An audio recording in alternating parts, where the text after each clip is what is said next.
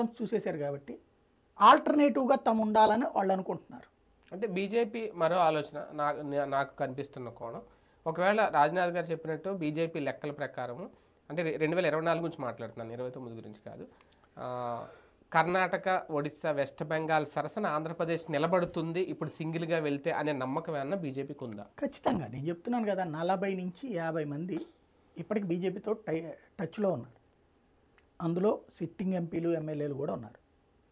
ఇవాళ కనుక భారతీయ జనతా పార్టీ ఈ పవన్ కళ్యాణ్ చంద్రబాబు చేస్తున్న డ్రామా బీజేపీ మాతోనే ఉంది మాతోనే ఉంది మాతోనే ఉంది అన్నటువంటి డ్రామా నుంచి పక్కన పెట్టి కనుక నిలబడితే తెలుగుదేశంలో వాళ్ళ అసమ్మతి వర్గం ఉందండి. ఒక సీట్ ఇప్పుడు ఫర్ ఎగ్జాంపుల్ ఆ ఉండి ఒక రాజు వచ్చారు ఇంకో రాజుకి సీట్ లేదు. ఏం చేయాలి ఆయన ఎక్కడికి పోవాలా? వైసీపీ. పోతే సీట్ లేదు తెలుగుదేశంలో దిక్కు లేదు జనసేన ఆల్టర్నేటివ్ కాదు. ఎక్కడికి పోవాలా? ఇండిపెండెంట్గా చేయాలి. అదే బీజేపీ వస్తే సింబల్ ఉంటుంది. మరి ఇప్పుడు వైసీపీ వాళ్ళ పరిస్థితి కూడా అదే కదా. ఇప్పుడు సిట్టింగ్లు మీరు అంటున్న ఎంపీలు కానీ ఎమ్మెల్యేలు కానీ ఒకవేళ వీళ్ళ వీళ్ళ ముగ్గురు కలిస్తే మరి వాళ్ళు వెళ్తారా అప్పుడు? చేరతారా? నేను చెప్తోంది అదే. ఇక్కడ రెండు కోణాలు. మెయిన్ అయితే భారతీయ జనతా పార్టీ సింగిల్గా పోటీ చేస్తే నలభై మంది చేరడానికి సిద్ధంగా ఉన్నారు. ఓకే. వీళ్ళు ధనవంతులు. రాజకీయ అనుభవం ఉన్నటువంటి వాళ్ళు. సిట్టింగ్ ఎమ్మెల్యేలు ఎంపీలుగా చేసిన వాళ్ళు చేస్తున్నోళ్ళు. వీళ్ళు. నలభై మంది రెడీలో ఉన్నారు. ఓకే.